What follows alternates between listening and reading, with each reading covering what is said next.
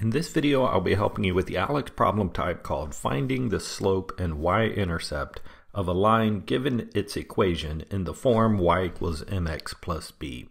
We're asked to find both the y-intercept and the slope of this line, and since it is in the form y equals mx plus b, the y-intercept can be found by identifying b, and the slope can be found by identifying m. Starting with the y-intercept, we know that it is a coordinate where the x value is 0 and the y value is b. So in this example, our y value is 8. Our y value is 8. So the y-intercept is 0, 8. And then the slope is the number in front of the x.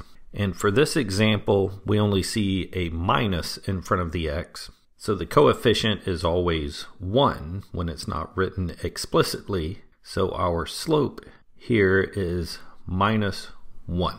And we can see here that finding the y-intercept and slope is straightforward when we have slope-intercept form.